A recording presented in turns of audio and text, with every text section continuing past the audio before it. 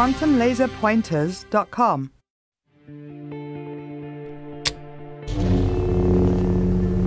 Quantum Laser Pointers brings you the infamous double slit experiment right in the palm of your hand. In 1801, English physicist Thomas Young performed this experiment to determine if light was a particle or a wave. A laser shines a coherent beam of light through a film disc containing two parallel slits.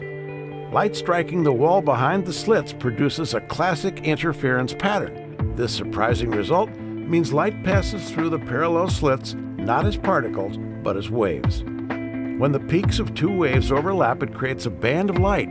When the peak of one wave meets the valley of another, light is canceled out.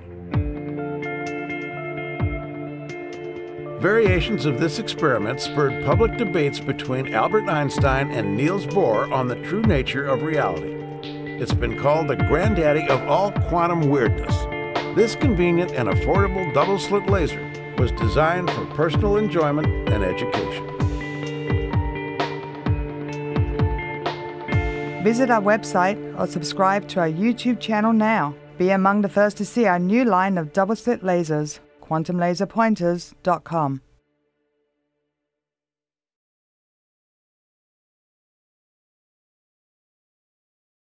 Uh, I would recommend uh, when a future conference like this that we have tissue boxes that we can give uh, out because we've seen many things that your mirror neurons are responding to. Uh, when you see someone going through an emotional circumstance, your brain responds in the same way. So I've used up all my tissues. Uh, the other day we heard uh, Francois, otherwise known as Frankie Peanuts, talk about uh, an unusual experience with Nelson Mandela where uh, after he left the room, the members of his team felt the presence of Nelson still there.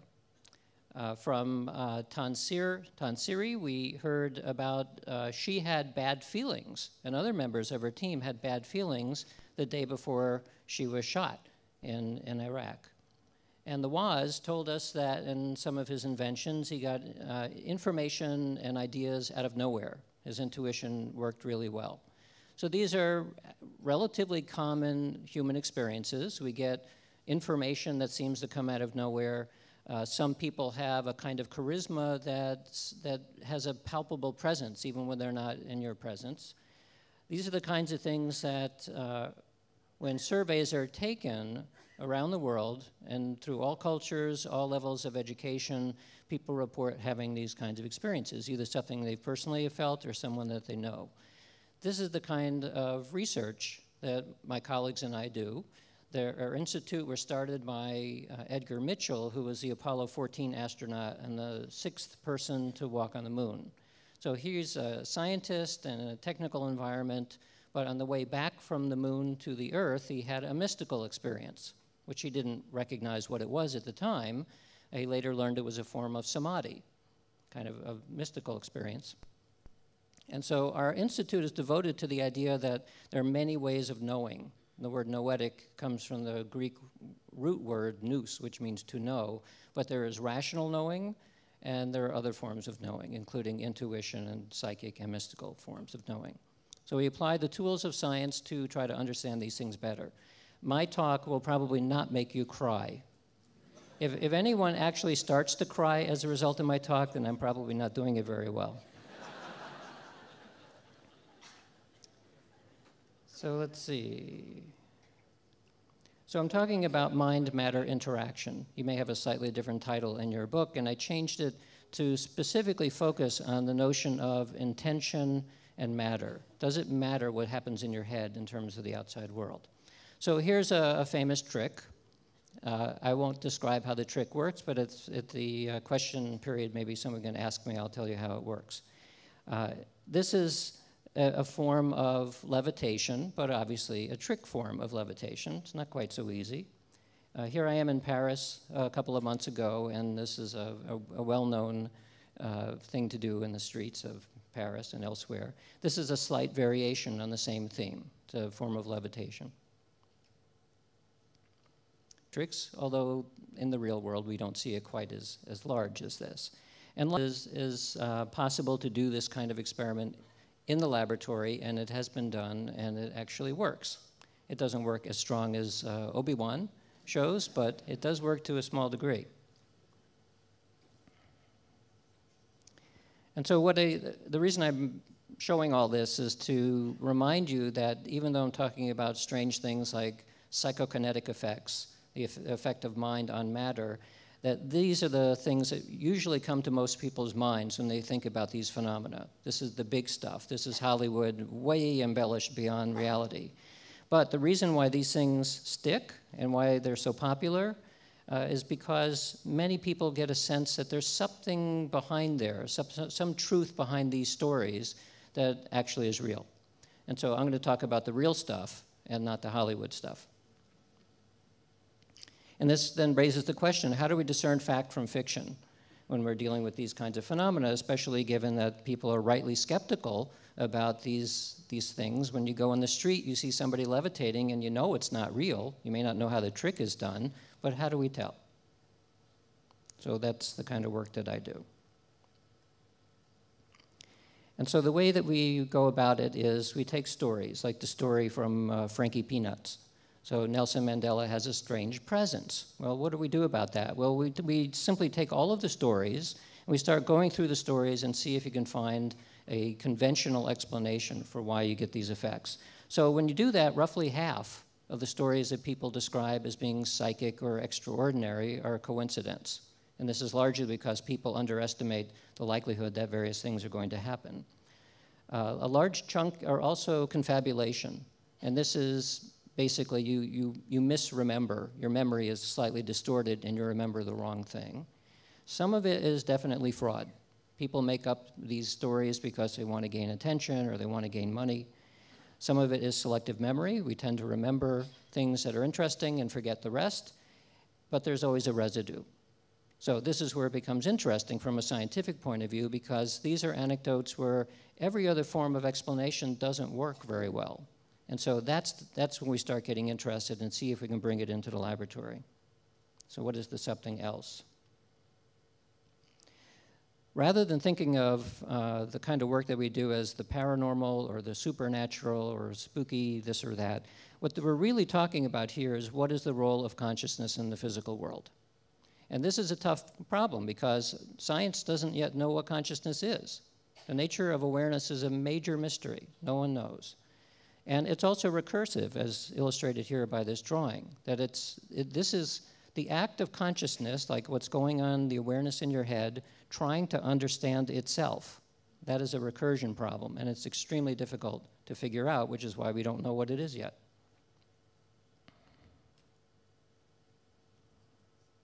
And so now the, the clicker, we need our mind over matter to make the next slide appear because it is not working. New battery, perhaps? We need energy here. yeah, clicker's not working. New clicker? Oh, Oop. Now, now we've killed PowerPoint.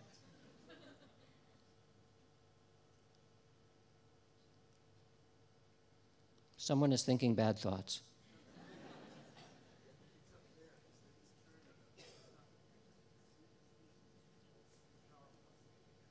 Oh, oh. So we lost PowerPoint. Oh well. So well, yeah, it's the recursive problem. That's that's part of the issue here. So what I'm gonna, I'm talking then about uh, the role of consciousness in the physical world. That's the way that I think about the program that we're doing, which is basically the physics of consciousness. And when we get our slides back, you'll see that the way that we can begin to think about this from a scientific perspective is that it doesn't involve things coming out of your head. The usual way people think about what, how is it possible that your mind can influence the world around you without actually pushing it with your fingers? The, the first thing that people think of is that there's some kind of force that comes out of your head. And this has actually been checked. People have looked for forces for many, many years, and no forces are ever found. We see effects. We see that your intention can change the world, but not force like. Well, what else is going on then? Let's see if we can go to the next. So, one possibility is uh, that there's something about the brain that is at work here. There are conscious and unconscious elements of the brain. Uh, maybe we have other kinds of bodies. There are many traditions, esoteric traditions, that talk about a physical body and a light body and other kinds of bodies. Uh, and ultimately, we want, to, know if you change your thoughts, can you indeed change your world? So Rajiv told us that uh, in his own story that he would like to do something and then magically it suddenly happens. Well, is that coincidence or is there something actually happening in the world? There are two major theories that go on here. The first one is the neuroscience theory, which basically says that you're nothing but a pack of neurons, or that you're a machine made of meat. Well, surgeons know that we are a machine made of meat. It's all about putting the machine back together again, but that doesn't tell us what consciousness is. Nevertheless, within the neurosciences, this is the prevailing theory that your sense of self, your consciousness, everything you think subjectively is a result of your brain activity. And that's the end of the story. But there's another theory, one a much older theory, by the way, I'm, we'll call this mechanistic materialism, which is the scientific worldview. It's very successful. We can't exclude this as a possibility because it is so successful. But the second theory is this that consciousness is fundamental in some way that we don't yet understand yet from a, from a scientific perspective. So, what do we do then? We have stories of mind matter interaction. Is it simply entertainment? It's superstition? It's magical thinking? Or is it something else? Well, that's the task at hand. It turns out that there have been many experiments over the years, both on living systems and also non living systems. Uh, these are about 100 years old now, from, from about 100 years till today. Roughly 500 publications in peer reviewed journals, and about 2,000 experiments have been reported. One of the first was actually described by Sir Francis Bacon, who was one of the founders of modern empiricism. His idea, uh, written in this famous book, A Natural History in 10 Centuries, was that if you wanted to study, as he put it, the force of imagination, which by which he means intention, you want to study the role of intention in the physical world, how do you do that? You toss dice. Why? Because with, with dice, you can use statistics. And remember, this is 1627. He was already coming up with ways of testing whether or not your mind could influence the world at large. So 300 years goes by, and here's J.B. Rhine at Duke University doing experiments with dice. And of course, you can't give somebody dice and have them toss it because there are ways of faking. You can make certain numbers come up if you hold the dice. So he used machines to toss the dice. So this kind of experimentation went on for 50 years, roughly 1935, 1987. What you're looking at at 50% would be a chance result that people could not influence the dice. But as you see, the means on this are mostly above 50%, and the overall result is there and you can see the error bars. So this is way above chance, and in fact, you do the statistics on it. I did a meta-analysis a number of years ago. So when you look at all of the studies weighted by quality, the odds against chance is a gazillion to one. So people with many, many, many repeated trials and independent experiments show that you can indeed affect the roll of dice. This doesn't mean that the casinos are in trouble because the house take in casino games is so much greater than the effect size here that all the, the very worst that they're going to do is lose a little bit less, uh, or actually, you will end up losing slower than you would if you were not using your intention. So the casinos have nothing to worry about. In fact, the casinos like this kind of information because it gives people the idea that maybe they could win simply by willing it, and most people, that's not going to happen. So uh, another a long-term experiment using physical objects, this is um, Bob Jahn and Brenda Dunne from Princeton University, who had a lab that went almost 30 years. And one of their experiments used this big device, it's about 10 feet tall. It had 3,000 little polystyrene balls in it. And the polystyrene balls would fall down through pegs and they would create a normal curve at the bottom. And your task, that's what the, the thing looked like, this is what uh, the different bins at the bottom look like after many, many thousands of control runs. It looks supposed to be a normal curve, and it's very, very close to normal. But you ask somebody while the balls are falling down to slightly push them to the right with your mind. In fact, they got pushed to the right. You push them to the left, they move to the left. And when you're not trying to do anything, they stay in the middle. So this is statistically speaking a very significant result. In terms of how much the magnitude was. It's not like you could see it happening, you could only see it statistically, but with enough data, you can see that there is actually an effect going on. So, how is it possible? Do we have force beams coming out of our head? As illustrated in the comic books, this is the way we think of it. There's light, lightning strikes out of your head. It makes housework a snap. So, how, how do we begin to even understand this? Up until recently, there wasn't any explanation. One of the reasons that this kind of research was considered out on the fringe somewhere is not through the empiricism, because there's plenty of data. It is completely uh, uh, a question about how do you begin to answer this in a scientific way without having to develop entirely new kinds of ideas. So, in order to answer this question, we need to leave our senses. And what I mean by that is that common sense is, the, is not going to answer the question. Our common sense is an extremely thin slice of the world at large. If there's one thing that science has taught us over the years, is that what you perceive with your eyes and, and with your body and so on, that's a very, very small part of the world. And it's one of the reasons why it took the germ theory of disease basically a century before people understood that maybe you should wash your hands before you eat or do surgery. It took a long time because people could not see the germs. So there are many aspects of the world that are way beyond our ability, our common sense ability, and it's only through the development of instruments that we're able to actually see things that the world is much larger than we, th- we thought. So we will now leave our senses. We're interested in studying the nature of consciousness and awareness. You can think of this not consciousness in the large sense, but simply what does it mean to be aware? Where does that come from? Well, taking a scientific approach, we try to find the source of it, which seems to be inside your head. We go to, we start using reductionism and we look at neurons, we look at the, the synapses, we go further down, you find DNA, and then you find uh, atoms and or molecules, atoms, below atoms. Uh, you start to find quarks. And then you ask, well, what is a quark? A quark ultimately is a mathematical construct. No one has ever actually seen a quark. It's a construct. So, what is this mathematical construct all about? It's basically stuff in your head. It's symbolic. It's things that your head made up. So we have this strange recursion.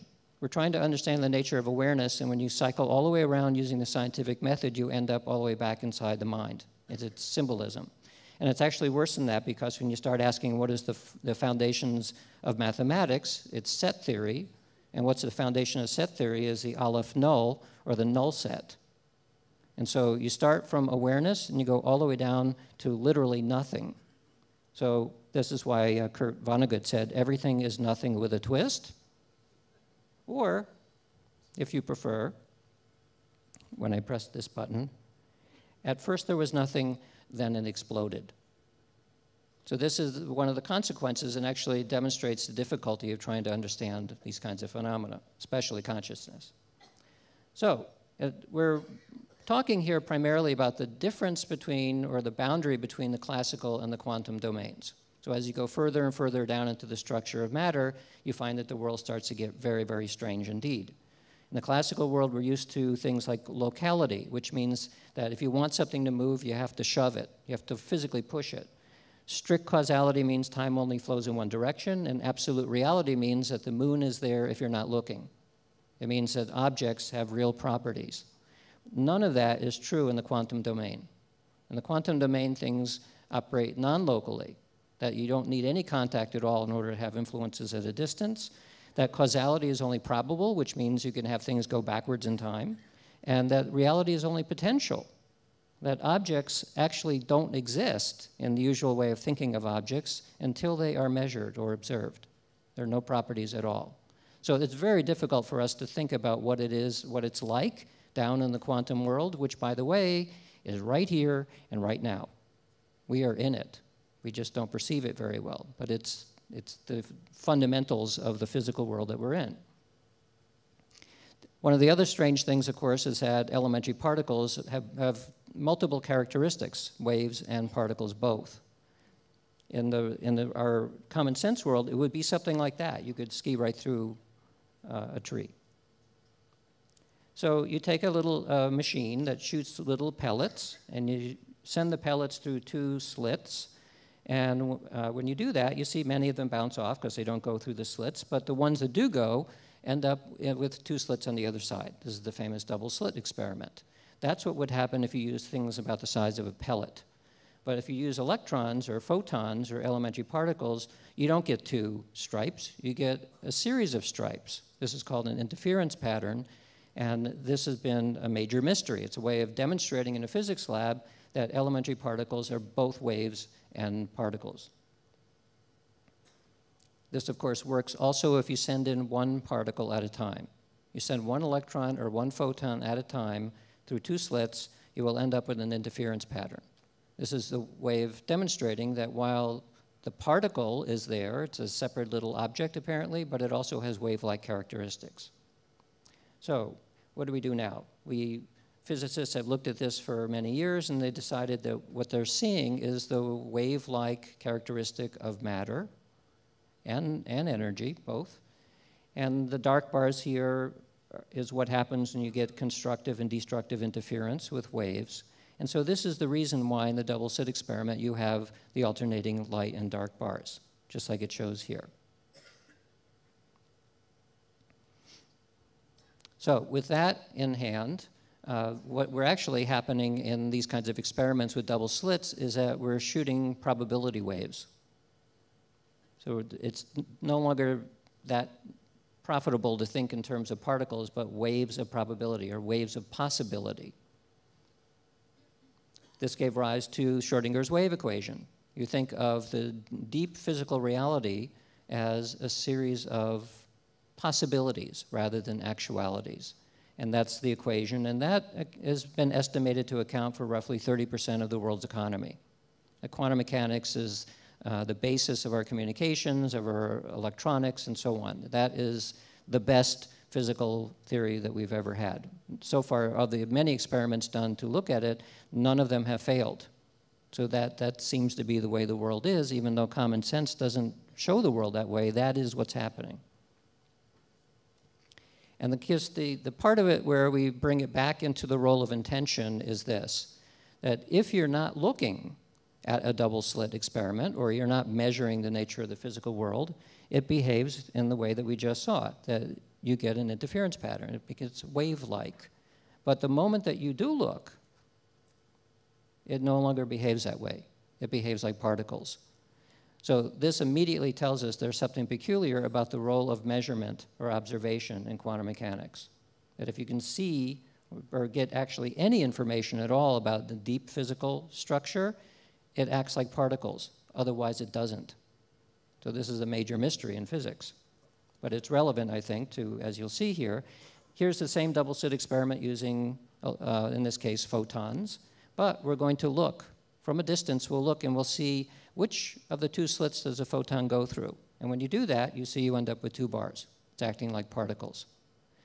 So this gives, gave me an idea of how we'd go about testing this. And other people have thought of this as well. It's related to the, what's called the quantum measurement problem. This is an unsolved problem in physics. And the problem is that you have some kind of a quantum system on the left, and you have some sort of a measuring apparatus, which could be your eye, it could be uh, an instrument of some type. And when you measure the quantum system, you entangle it. The mathematics, you do something called a tensor product, and you, all that you've done is created a more complex quantum system as a result of the measurement. So the system and the apparatus are no longer independent, they're now entangled. Well, I assume many of you have heard of quantum entanglement, but in essence, what it means is that if you have systems that interact and then they separate, they're no longer separate. They might seem to be separate, but they're really not. They share properties. So, observation apparently collapses so called the quantum wave function. It makes the potential world into the physical world that we see.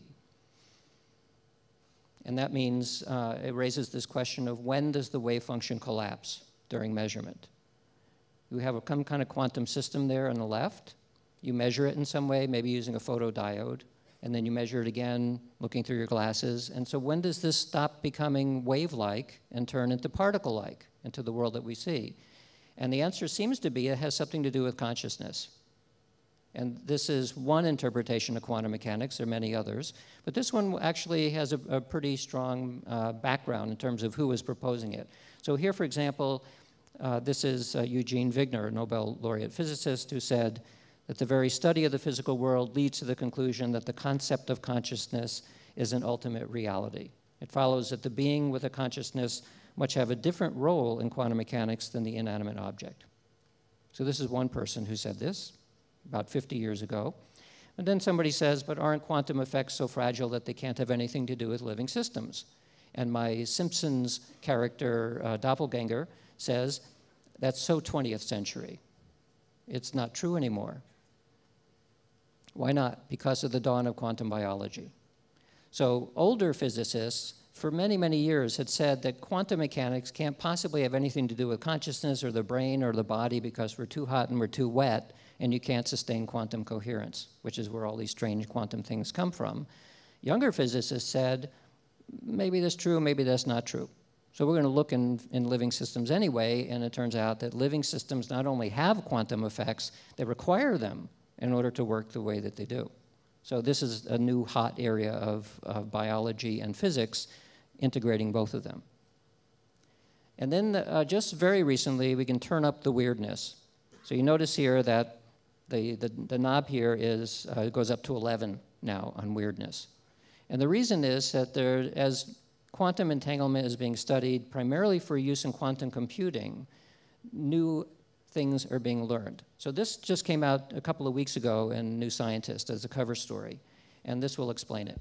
Reality can be strange, especially at the smallest scales. But what causes it to be that way? Physicists used to pin it on quantum entanglement. But there may be a deeper source quantum discord.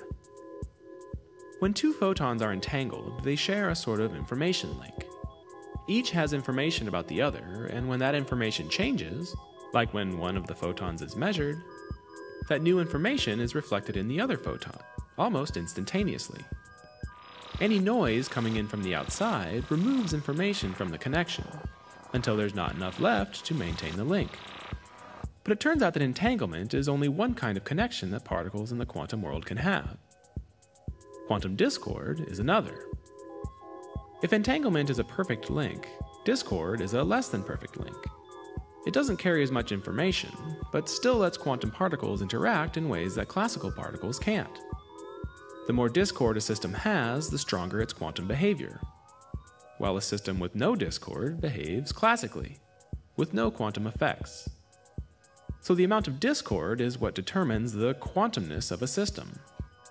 And when two particles are linked by discord, it becomes possible to change one by manipulating the other. This means discord might be useful for things like quantum computers, which until now have relied on delicate entanglement to work. Quantum discord is more fundamental than entanglement, and scientists are only beginning to understand exactly how it gives rise to all the strangeness of the quantum world. But one thing seems clear Discord is more than just a way to link quantum particles. It's one of the rules that govern the most basic levels of reality. So, this is very important. Quantum discord is more fundamental than quantum entanglement.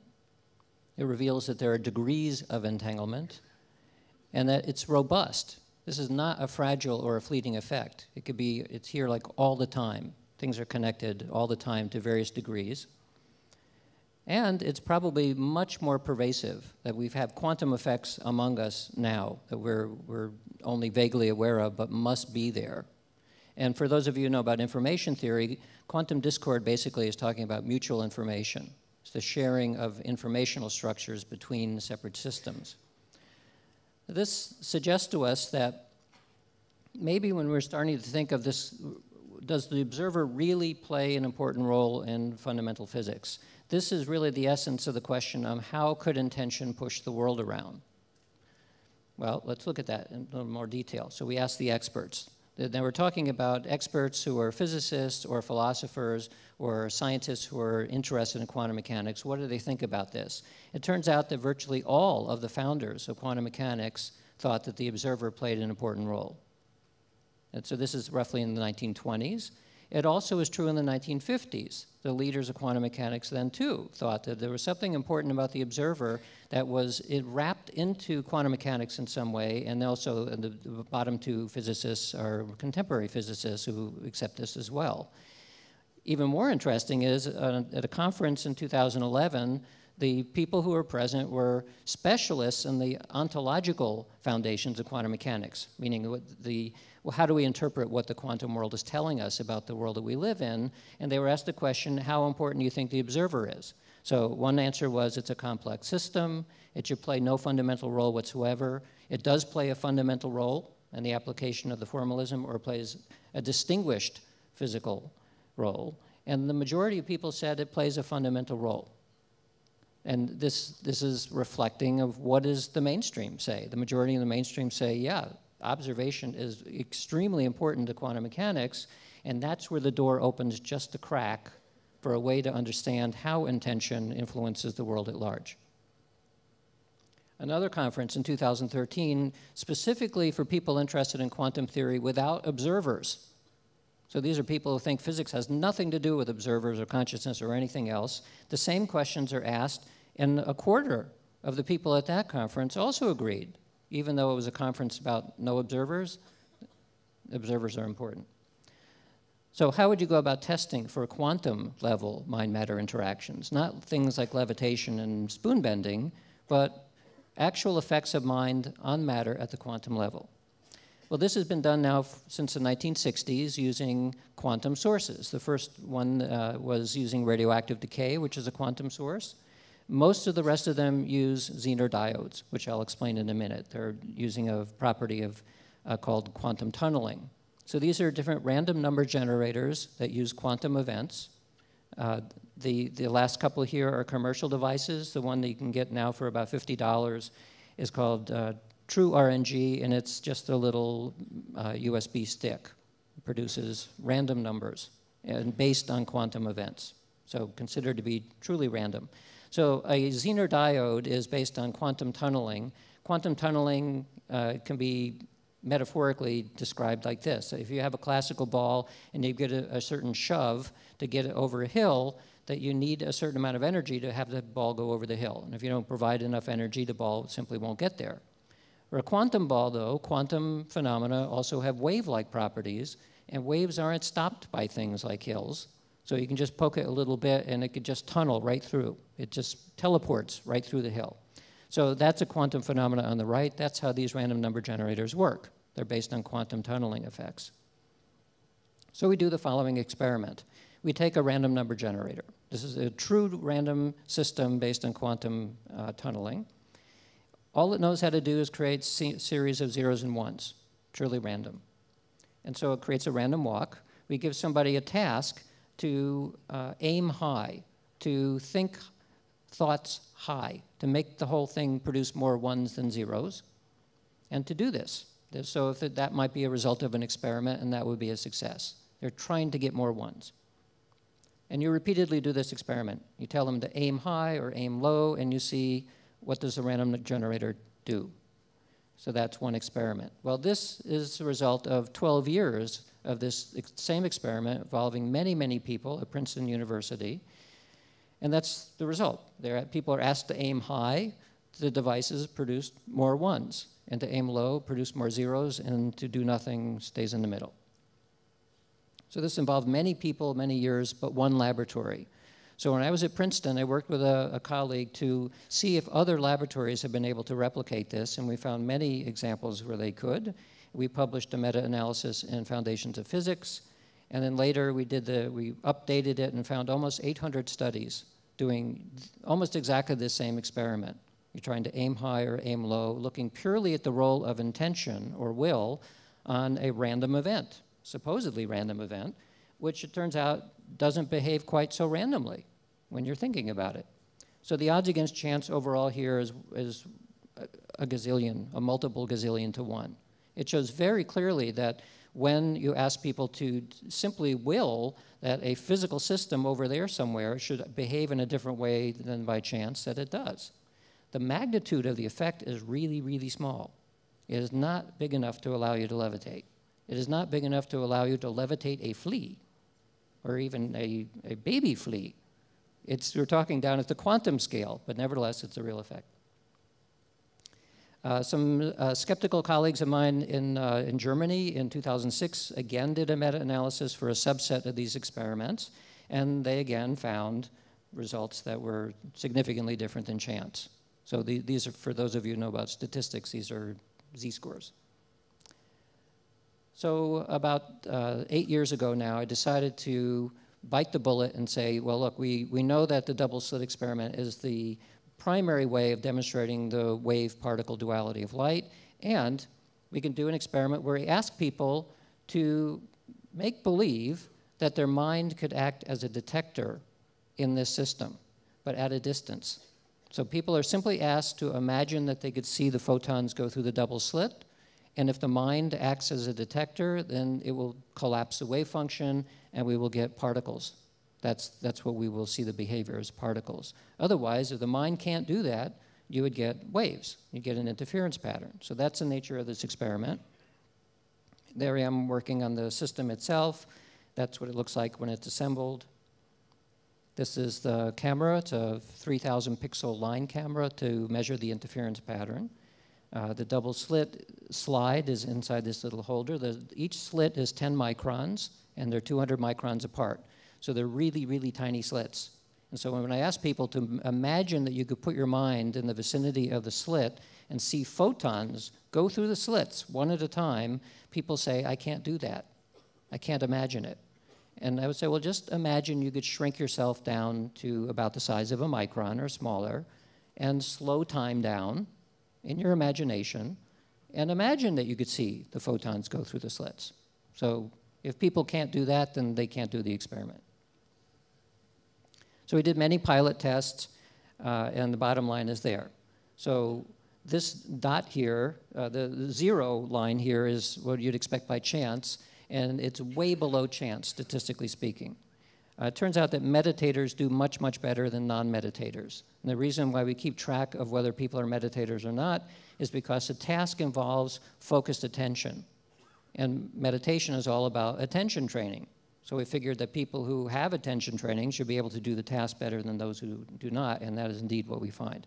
So strong statistical evidence that when you ask people to do this rather simple task, that the double slit device behaves differently. The particle, they, we're seeing particle behavior rather than waves. And when no one is asked to observe the system, it behaves like chance. So that, and we then did a, a formal experiment where we selected people who appeared to do well in the first ex experiment and did ran them again through the experiment and got even stronger results as compared to a control.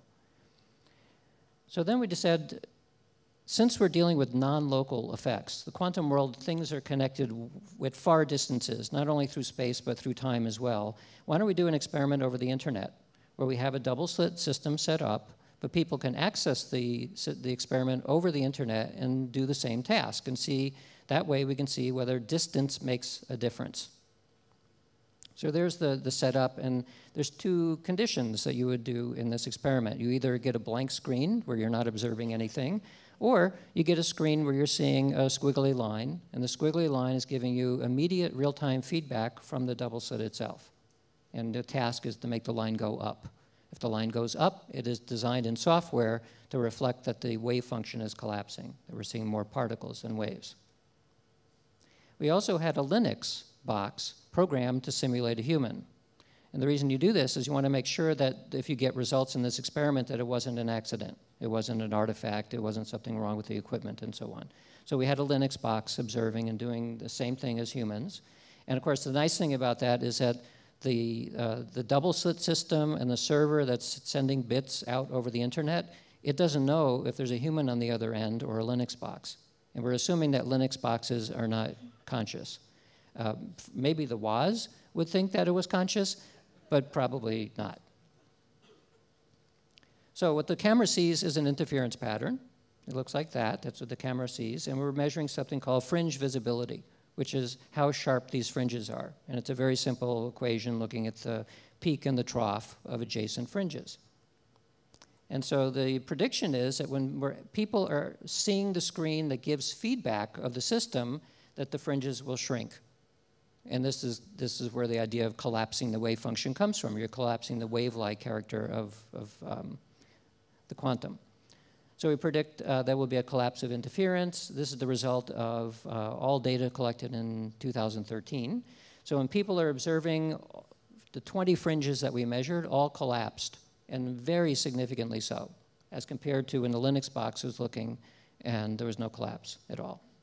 So the nice thing about this as well is not only did we get uh, confirmation of what we saw in the laboratory, but we're able to test does distance matter? And so our laboratory is in California, and the, as the farthest away you can get from our lab is South Africa, and it's 18,000 kilometers. And we're able to look at all of the, the, dots here are individual trials in the experiment, somebody doing the experiment from some distance away.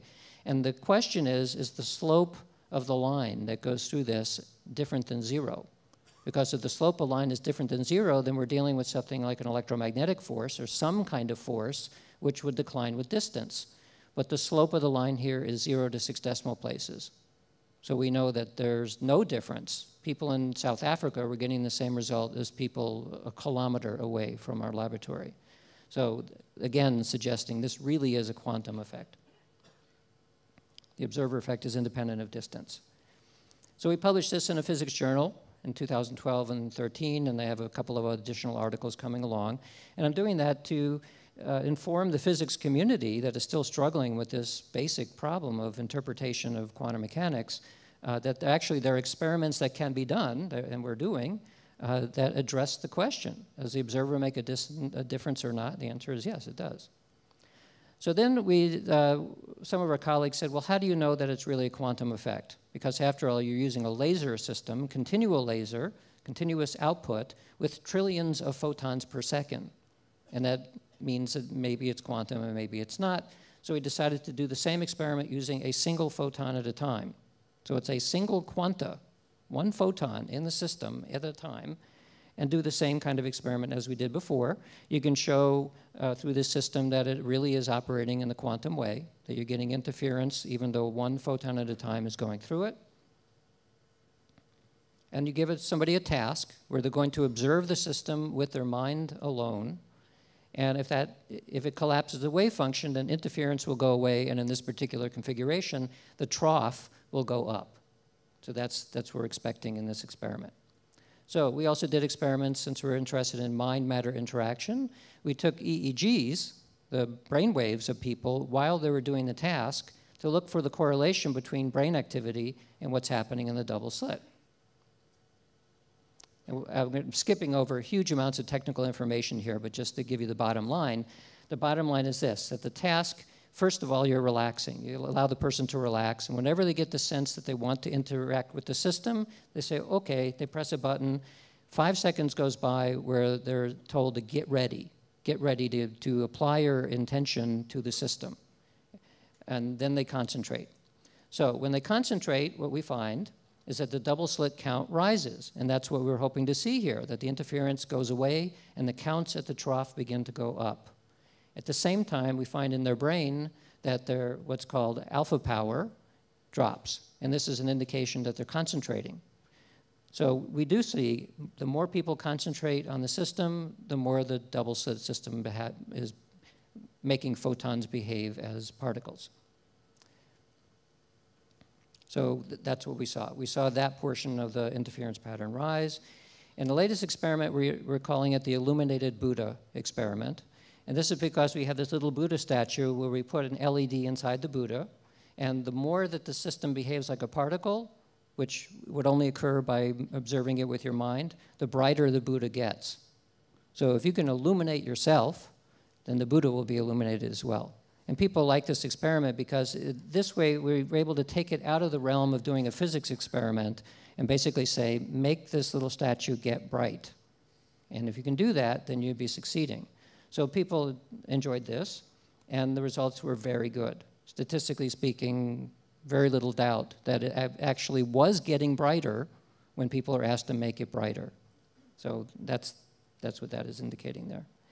Uh, that means, again, that individual photons were being affected by the mind at a distance.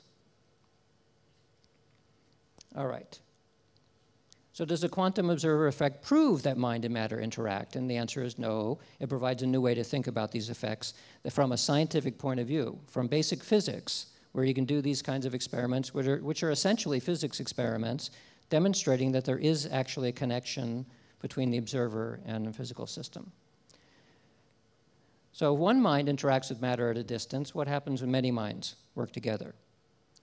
And this raises the question that we have addressed in the Global Consciousness Project, which looks at this question of what happens if everybody in the room tried to do the experiment rather than one at a time? Does it make a difference?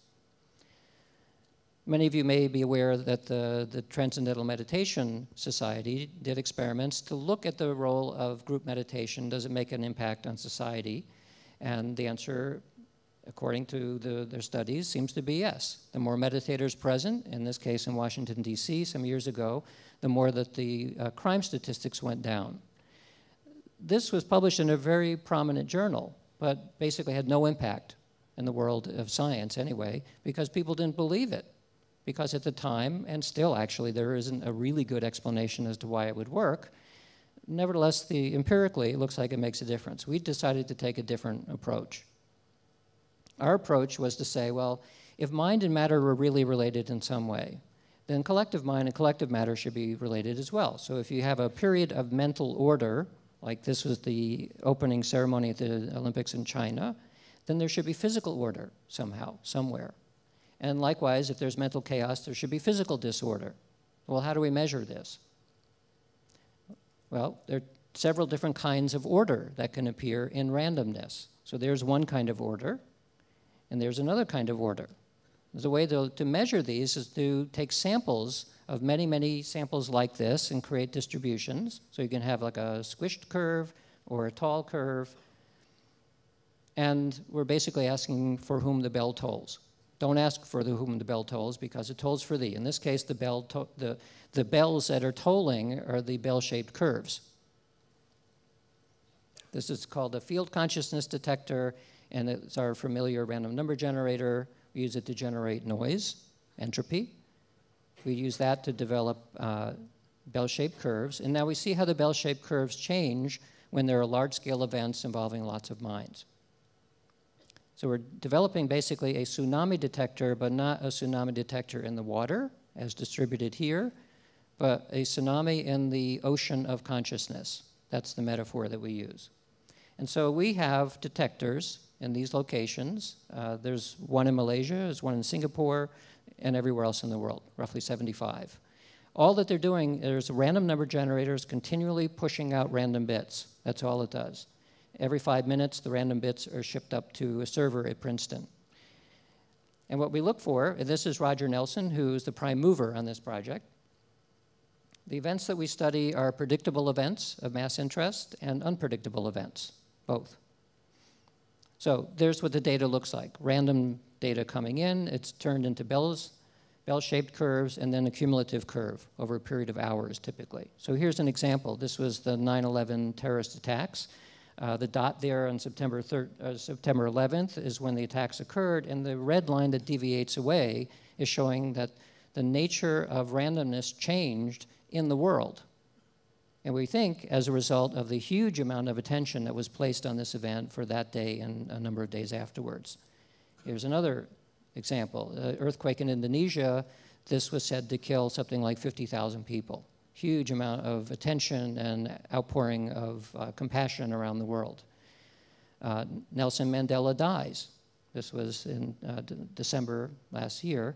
Again, there is a deviation over the course, in this case, of one day because of the attention placed on this. And what we're talking about here is a change in the physical structure of the world itself. It was less random when lots and lots of minds were paying attention to this event. The World Cup, Germany versus Brazil, a lot of people paid attention to that. It had an effect. Uh, the election 2008 for Barack Obama,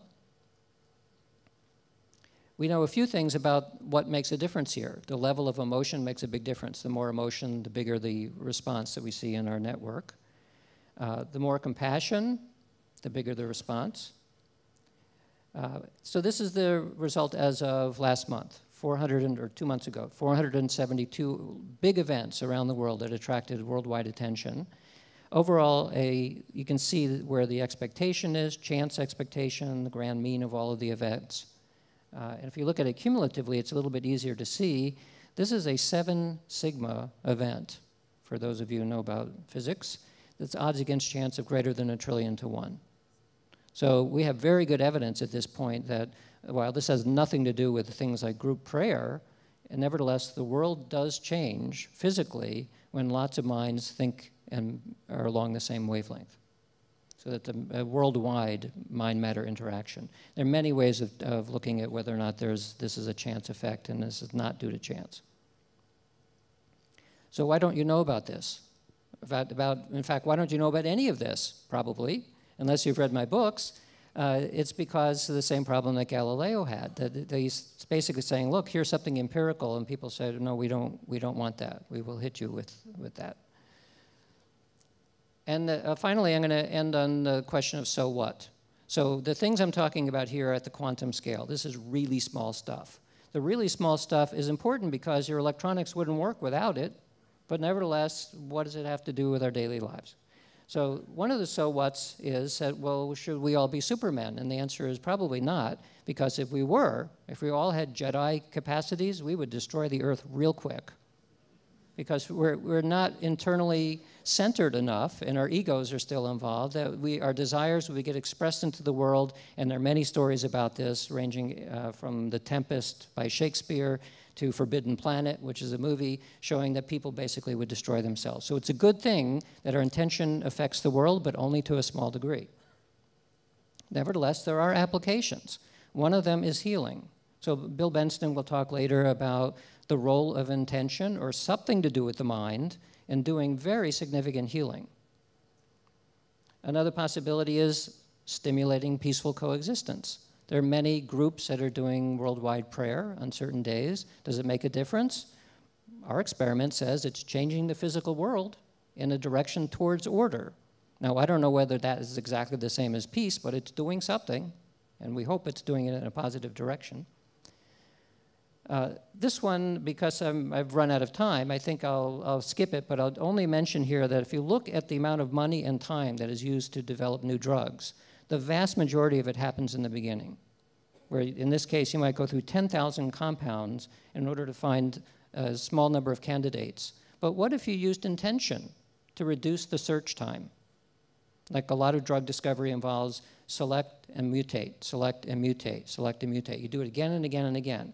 If your intention was, I want to find an antibiotic that kills this thing, kills, make, make an antiviral that kills Ebola, but you have people who are intending that this is the outcome, well, maybe you shave off 1%. 1% in this process is worth a huge amount of money, not to say for the practical benefit of it. This could obviously be used for novel ways of uh, controlling and uh, communicating. So we now, of course, brain-computer interfaces are pretty popular. Here we're talking about the same kind of control without any equipment at all, simply the mind controlling at a distance. And I'm going to end with this one, new kinds of food and beverage. So I did this with a colleague in uh, Taiwan uh, two years ago, and we're looking at the tea ceremony. The tea ceremony is interesting because it's a ceremony which revolves around the notion of intention, and specifically that through the intention, you're essentially expressing nurturance and love in the tea itself. So we said, okay, let's see if that does anything. Just like lots of religious rituals are all about intending and prayer on food and beverage, is this just because it makes you feel good or does it do anything? So we decided to test it. The way it worked was this we made a, a big batch of oolong tea, separated it into two equal sizes. One batch was prayed upon by three senior Buddhist monks at a temple in Taiwan. And the, what they're impressing into the tea was the notion that people who drank the tea would feel more vigor, less fatigue, their mood would elevate. So then this was the, they were separated into little bottles, and then we gave the bottles to 100 people in each group, and each was asked to fill out at the end of the day their mood at the end of that day. The whole experiment took place in one week, because there are lots of things that modulate mood, and we wanted to make sure that all the people in the same city were going to be subjected to the same news and the same weather and all the rest of it. So we tried to, to balance it as best we could. And this is the result. First of all, we asked people, what do you think you were drinking? Because expectation strongly pushes mood. So we have people who are showing the change in mood for what they thought they were getting. If you thought you're getting the treated tea, the blessed tea, your mood went way up. If you thought you're getting the untreated tea, the mood didn't change at all. And then there are people who just didn't know one way or the other. So this shows there is a big effect of, of expectation. And then the next thing is we look at the, uh, the role of expectation, whether they got treated tea or not. So this condition here is called placebo control. So everybody here believed they're getting the treated tea. But the ones who actually got the treated tea did a lot better than the ones who did not. This suggests that even under double blind placebo control, if you're getting tea that has been blessed by the Buddhist monks, your mood was better than if you got the untreated tea. The other conditions, there's called the nocebo control in the middle. These are people who believe that they were not getting the treated tea even though they were. And there, it's actually no different. And then the third category, of people who didn't know what they were getting, they had no opinion. So the really interesting condition is this one. This is called placebo enhanced condition because these are people who, all of whom are getting the treated tea, but some of them think they're getting the treated tea, and others think they're not getting the treated tea. So, under this condition, you get a massive difference. This is a 1,000% difference in terms of mood. So, statistically, very significant. What this says is that is there an, an effect, in this case by blessing tea, did that make a difference in mood? Yes. But it's modulated very strongly by whether you believed that you were getting that tea. So, as, as you kind of make sense, that even large scale mind matter effects make a difference on what you expect to occur. So then to finish, if my button works, there we go. The conclusion is very simple mind matters in unexpected ways. Thank you for your kind attention.